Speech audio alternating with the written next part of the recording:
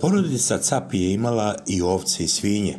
Proizvodili su više povrtarskih kultura, uglavnom u plasteničkoj proizvodnji, a okolo njih je bilo i jagoda i malina.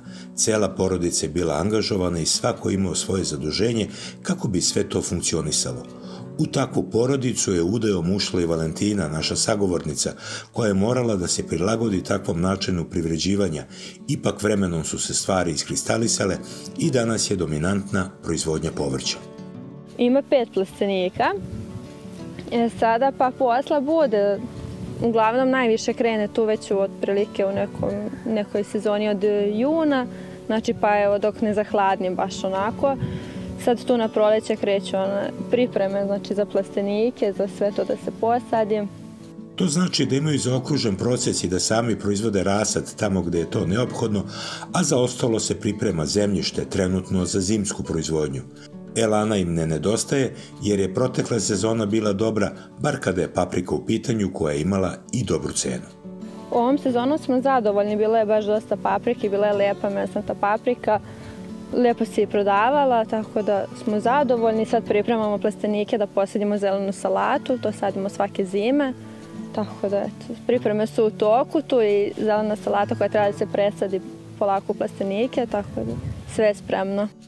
Mi nemamo još grejanje u plastenicima, tako da preko zime je lakše tu zelenu salatu, zbog samog grejanja ne možemo nešto drugo, ali eto planiramo znači, da se i proširi sve to i da mnogo ozbiljnije bavimo svime time. Svi smo i zaposleni po firmama, tako da ovo nam se dođe kao dodatni neki posao, pa planiramo da se sve to širi i ozbiljnije radi još više.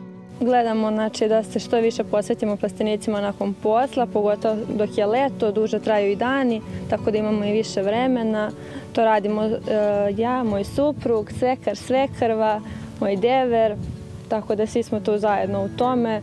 I pored toga što su zauzeti i svojim redovnim poslom i brojnim obavezama na gazdinstvu, vreme moraju da izdvoje i za pijacu, jer jedino tako mogu da dođu do pristojne zarade.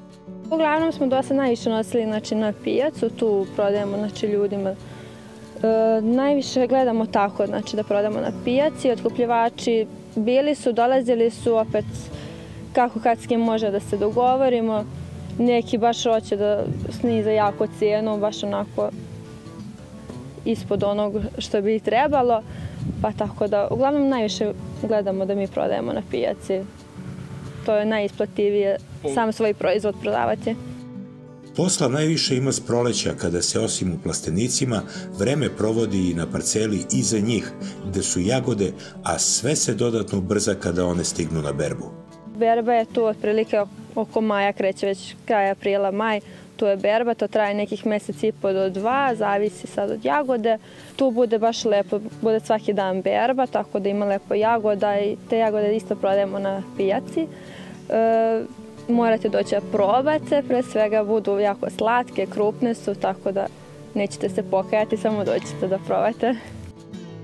Ako nas put nanese do Vrbasa u maju 22. godine, svratit ćemo da probamo te hvaljene jagode.